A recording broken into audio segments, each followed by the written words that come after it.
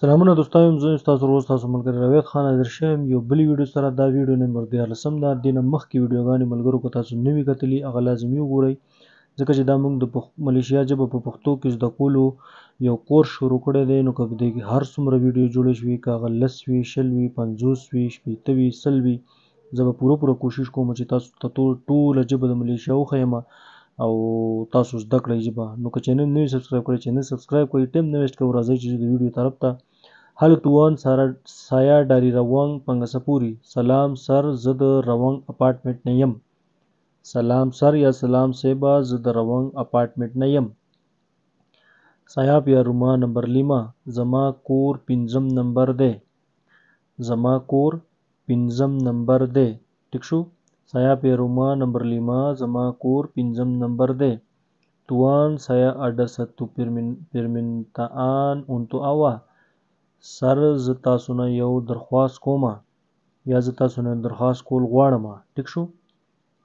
اوکه اپای تو باګیتاو اوکه وایا سدی اوکه وایا سدی باګیتاو وایا سدی صحیح ده اوکه اپای تو باګی تاو اوکه ویا سدی توان سیا ته ډبې کې جهان سوډتی قبولن سر زما درې میاشت درې میاشت اوشوي چې کار مې نشته سر زما درې میاشتې اوشوي چې کار مې نشته جاډي سیا ته ډبې مېر بولنی نه ځکه زه د دې میاشت کې کرایه نشم درکولې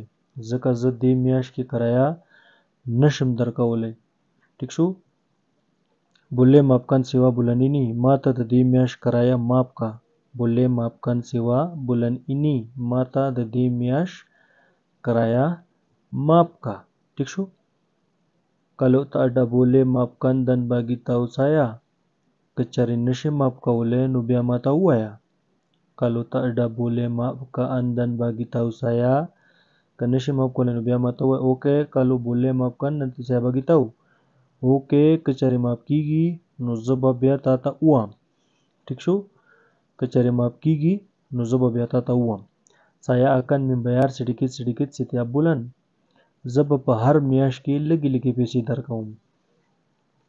زه به په هر میاشت کې لګي لګي پیسې درکوم